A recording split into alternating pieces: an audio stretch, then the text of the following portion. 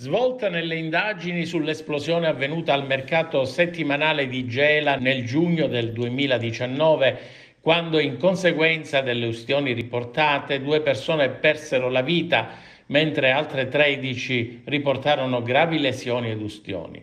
La locale procura, al termine delle indagini preliminari condotte dagli agenti della Polizia di Stato, ha chiesto il rinvio a giudizio di un imprenditore 48enne che dovrà rispondere di omicidio colposo aggravato, incendio e lesioni gravi. L'indagato, con licenza di commercio al dettaglio ambulante di prodotti alimentari e bevande, svolta all'interno del mercato settimanale di via Madonna del Rosario a Gela, secondo le ipotesi accusatorie, a causa di negligenza e imprudenza nella conduzione dell'impresa individuale ed in considerazione di innumerevoli violazioni di leggi e regolamenti, è ritenuto responsabile dell'esplosione cui seguì l'incendio di un furgone, di altri veicoli e di alcune strutture per il commercio ambulante. In seguito alla deflagrazione ed in conseguenza delle ustioni riportate, due persone persero la vita mentre altre 13 riportarono gravi lesioni, in particolare l'ambulante